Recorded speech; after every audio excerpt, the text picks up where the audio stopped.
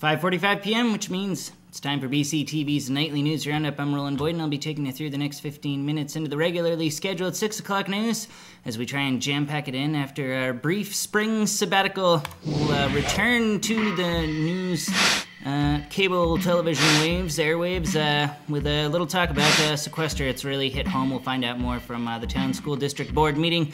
Uh, we've been following this 2013 legislative session all spring long, and it's come to a close. We'll find out what the governor has to say about it, do a little summary for you, and as we hit our seven town summary and talk about the Dummerston Select Board, it always heats up when they talk about the emergency management evacuation plan, all that and more. I'm going to talk just this fast, if not faster, so it's going to happen in 50 15 minutes or less, so stick with us right here on 545 Live.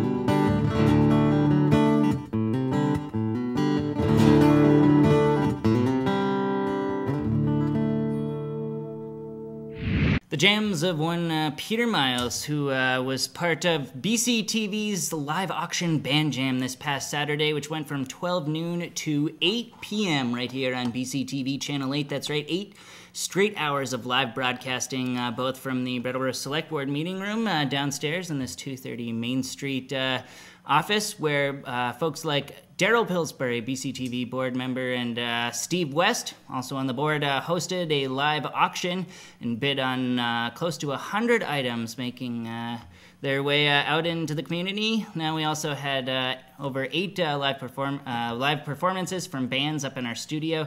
along here with our brand new set, quite a time. You can see that full eight hours in just 12 minutes, courtesy of our auction highlights reel, uh, which is now currently featured uh, right on the homepage at brattleboro.tv.org. All right, into the stories we go, which means into the newsroom we go, which means into my close up we go. That's kind of how things uh, tend to happen around here. Let's uh, start with a word that's been sending shudders through the hearts of government funded outfits across the country uh, all spring sequestration. The federal government uh, self imposed spending cutoff responsible for 8% uh, budget reductions across uh, the board to virtually every federally funded organization.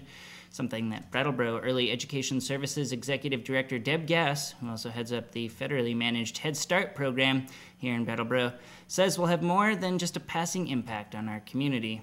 But she says organizations like hers are prepared for the sequester and fresh off a regional review for Head Start, Gass told the Town School District Board this week that the Boston based board has lobbied for a bigger, not smaller, budget for her this year, asking Gass to reduce uh, only the mandated 5.27% for one year, not the full 8 over two years. A move that would preserve transportation services which uh, she and they believe are vital to uh, enrollment in the program.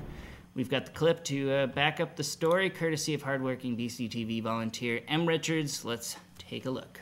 The um, regional staff had their strong conviction that we reinstate the transportation in Brattleboro. So for the next year, we can do that. We can certainly run the buses, which of course will help our attendance, which is really where their concerns were. Moving on, let's talk about the State House. We've been following this uh, all spring long. There's been plenty to talk about, and with the governor's adjournment, uh, prompted another piece of the script here, which prompted another close up. Governor Shumlin's adjournment speech this week brings the curtain down on a state legislation session packed with noteworthy bills, sure to leave some Windham County reps satisfied and others beleaguered, with locally sponsored topics like death with dignity seeing their momentum drained, while Northern Democrats looking for civil liberty improvements to law enforcement policies can put a notch in their walking stick with new laws that limit police license plate scanning and GPS monitoring, among others. At the uh, State House on Tuesday, Shumlin talked about the tenacity of Vermonters in the continuing wake of the recession and the work still left ahead. Oh, and also uh, their tenacity. Did he mention that? Vermonters are tenacious. I think that was in there somewhere. Let's take a look at the clip. And our economic recovery, while still fragile, is real. The opportunity this session was keeping our focus on the kitchen table issues facing Vermonters after a painful recession. Governor Peter Shumlin, courtesy of his YouTube channel. If you want to catch up on all the legislative session happenings and summaries, you can head to vermontdigger.org, where Anne Galloway has been posting. Uh, she's uh, done some work also for commonsnews.org, Brattleboro's uh, independent paper, where they're talking about it as well. Uh, all right, we'll move on here now and uh, talk. Uh, we'll get a little bit of the script here from our hardworking intern, Marco Skorstad. Here's what he writes for today. The owners of the Putney General Store have decided to get their own pharmacy to serve the local area. As it stands currently, there isn't a pharmacy within 10 miles of Putney. The director of the pharmacy at Grace Cottage Hospital in Townshend is going to run the Putney General Store pharmacy with his wife. Now, after obtaining his license, he will run the pharmacy, which will uh, is slated to locate on the upper floor of the store. Pharmacy is expected to be open sometime in August or September. Now, uh, we can uh, get more of those stories courtesy of Marcos Korstad just a little bit later in our news program today. But first, uh, back into the headlines. Just uh, one subtle cut and flashy animation away from doing that with our next bit of talk here. Let's talk strolling in the heifers. It's going to be all anybody talks about for the next month, so gear up. Uh, but with a deadline looming at midnight tonight, uh, we've got a story here uh, right now. The uh, cutoff is at midnight tonight for contestant entries to the Stroll's Great New England Quiche Cook-Off, which seeks to showcase fresh local ingredients by gathering recipes for the egg-based savory pie from both amateur and pro chefs and collecting the stories behind the recipe, something Stroll General Manager Julie Potter says is what the event's celebration of Vermont agriculture is really rooted in. She was here in our downtown studios to talk with none other than WTSA's Tim Johnson for an hour-long interview uh, with uh, other members of the Stroll party as well. Well, we've got her clip talking about uh, this quiche fiesta. We decided that it would be interesting to collect the stories of where these quiche recipes came from as well because the stories also help to make it interesting. So not only do you have good quiche, but now you have some good stories to go along with it. Quiches uh, will be judged at a private event this coming May 29th and announced during the Stroll's build-up week. Moving on, anyone who follows the Dummerston Select Board knows that an agenda that includes emergency management is bound to land a few uh, extra minutes to viewers, and last night's regular meeting of the board was no exception as Chair Zeke Goodband questioned the town's evacuation plan, something he says relies too heavily on residents having prior arrangements for providing their own shelter. But, says the town's emergency management director Rick Davis, there, that's one issue that the town should turn over to the feds.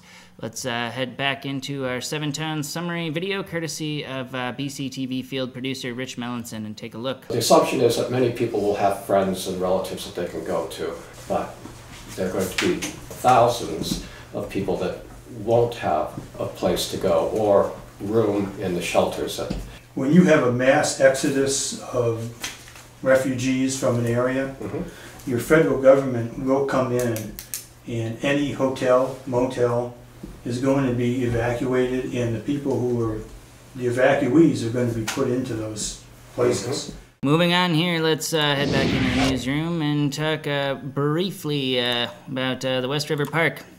In recent news, the greater Brattleboro area was able to raise $800,000 to open the new West River Park. Just two years ago, Rec and Parks Director Carol Lolatte broke ground in the cornfield. She says uh, now she's amazed by how fast the project has come together. On May 18th at 2 p.m., there's going to be a grand opening celebration. Now, uh, we've got a clip of Carol at last year's groundbreaking ceremony. Um, now, more than one year behind us, courtesy of our hardworking producer, Joseph Bushy. Let's roll it. Um, this is an exciting time for the department. We have completed phase one. The grass is growing, as you can see. It looks beautiful, um, and we couldn't do it if, if we didn't have the donors and pledges that we had. All right, uh, that's it for our welcome back weekend edition of 545 Live. Be sure to check in with us next Tuesday for another live broadcast from up here on our, the rooftop of our 230 Main Street studios here. Thanks to everybody at BCTV that makes public access uh, a grade above what you'd expect it to be. Thanks to everybody who watches 545 Live, makes it worth producing, and all of the volunteer producers who kick in their two cents and help me put this show together. That's all I got for you. Night, everybody. Yeah, you did. 68. The pillows? Just got a bid on it. Blue Moose. Love those guys. These are beautiful. You got a bid on the Okay. pillows? Beautiful. Nice pillows right here. Ooh. And it's fresh with Daryl's face oil on them too. Yeah.